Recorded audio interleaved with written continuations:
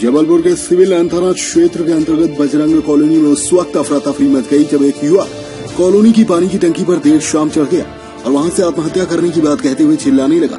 आसपास मौजूद लोगों ने इसकी सूचना तत्काल थाने पर दी।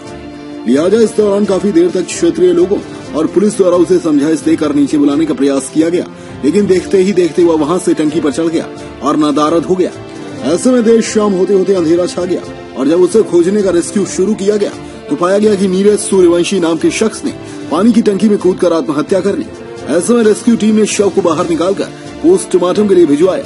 वही मृतक के करीबियों की माने तो मृतक शासकीय जॉब की तैयारी कर रहा था, लेकिन बार बार मिलने वाली असफलता के चलते वो अपना मानसिक संतुलन खो बैठा और बीते छह साल से उसका मानसिक रोग का इलाज चल रहा था।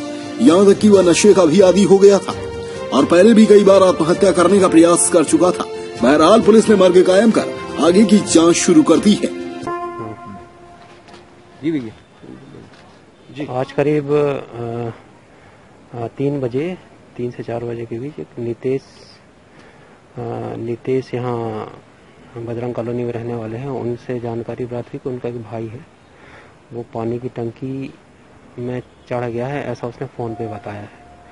तो थाने पर सूचना दी तो हम उसकी सूचना पर हमने उससे उस रिपोर्ट को दर्ज करने के बाद हमने यहाँ पानी की टंकियाँ की तलाश की तो पता ही चला है कि वहाँ उसकी चप्पल है। और अंधेरे में कुछ पीला पीला भी नज़र आ रहा है कपड़ा, जो कि संभवतः उसकी शर्ट है।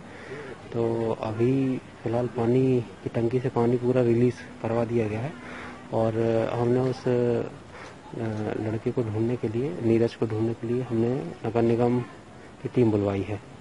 और अभी ऊपर पानी की टंकी में नगर निगम की टीम जाएगी और जो भी हो हम, यदि वो लड़का मिलता है तो आगे जो भी है कार्रवाई करेंगे।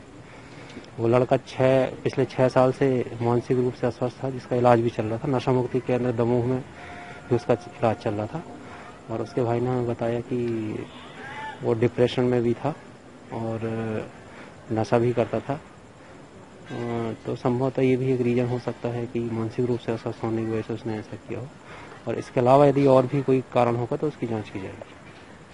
अपने आसपास की हर छोटी बड़ी खबर देखने के लिए हमारे चैनल पुलिस ब्यूरो न्यूज़ को बेल आइकन दबाकर सब्सक्राइब करें, जिससे आपको हर खबर समय से मिलती रहे। अधिक जानकारी के लिए हमसे संपर्क करें। हमारे कॉन्टैक्ट नंबर है nine zero three nine zero one one eight eight six एवं nine seven seven zero two two nine nine nine nine.